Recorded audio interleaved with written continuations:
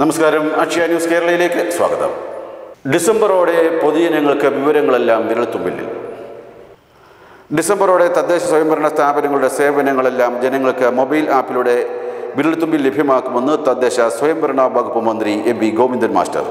Information Kerala mission ജീവനക്കാർക്കുള്ള laptop വിതരണത്തിന്റെ ഉദ്ഘാടനം നിർവഹിച്ച് സംസാരിക്കുകയായിരുന്നു മന്ത്രി. തദ്ദേശ സ്വയംഭരണ സ്ഥാപനങ്ങളെ ശാസ്ത്ര സാങ്കേതിക മേഖലയിൽ വൈദഗ്ധ്യമുള്ളവരാക്കി മാറ്റി പൊതുജനത്തിന് സേവനങ്ങൾ വേഗത്തിൽ ലഭ്യമാക്കാൻ എ കെ എം വിവിധ പദ്ധതികൾ ആസൂത്രണം ചെയ്യുന്നുണ്ട്.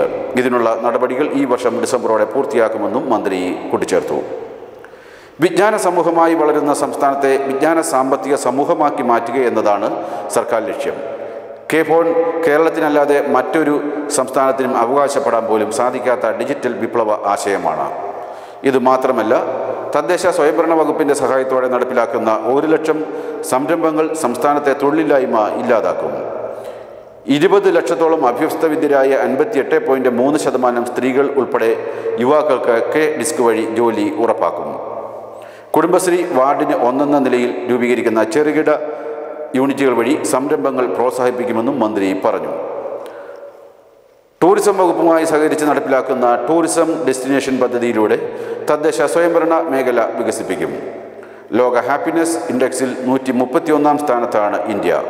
ഈ പട്ടികയിൽ ഇന്ത്യയെ മുന്നിലെത്തിച്ചത് കേരളമാണെന്നും ലോക വികസിത രാജ്യങ്ങളുടെ ജീവിത നിലവാരത്തിലേക്ക് അടുത്ത ഏതാനും വർഷങ്ങൾക്കുള്ളിൽ നമ്മുടെ നാടെത്തുമെന്നും മന്ത്രി പറഞ്ഞു.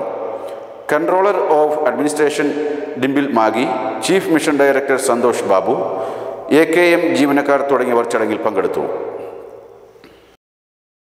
കൂടുതൽ വാർത്തകളും വിശേഷങ്ങളുമായി വീണ്ടും കാണാം